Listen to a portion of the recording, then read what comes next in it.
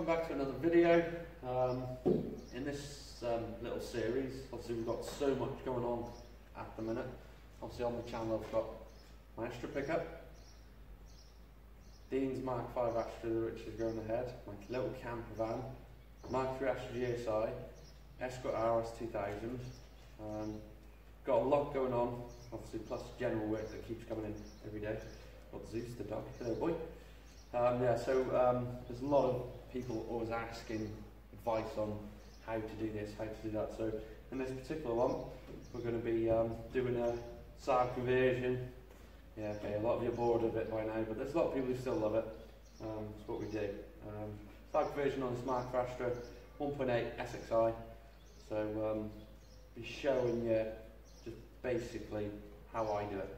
Um, but if there is anything in the up and coming future, while I'm doing this, you want specific um, how to, then obviously comment below and I'll make sure we put that in the video.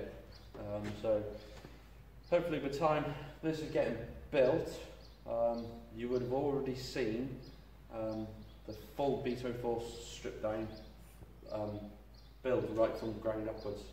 Um, so yeah, if you need any advice or anything, like I say, just comment in the description below and uh, we'll get on and we'll film anything that you need advice with. So um, first off, engine out. I don't think I'm going to bore you on how to take that out. It's quite self-explanatory, even missus understands that. I asked her, so how do you strip a car? She goes, undo all the nut and bolts. Can't say fairer than that.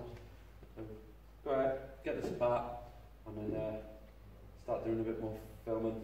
Um, but like I say guys, if you need any advice, just comment below. And uh, be seeing you soon in more videos.